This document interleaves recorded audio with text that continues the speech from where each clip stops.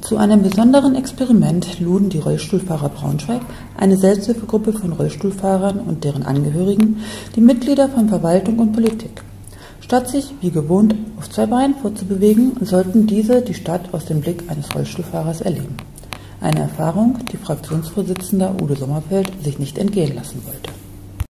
Die Leute, die planen und alles, mal sehen, wie das wirklich im Rollstuhl ist damit sie auch richtig planen. Nämlich die ganze Fußgängerzone nur Kopfsteinpflaster.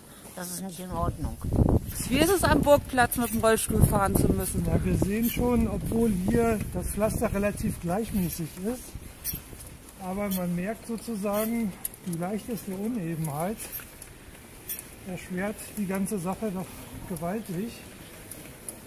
Und das, wie gesagt, obwohl hier relativ starke Gleichmäßigkeit ist.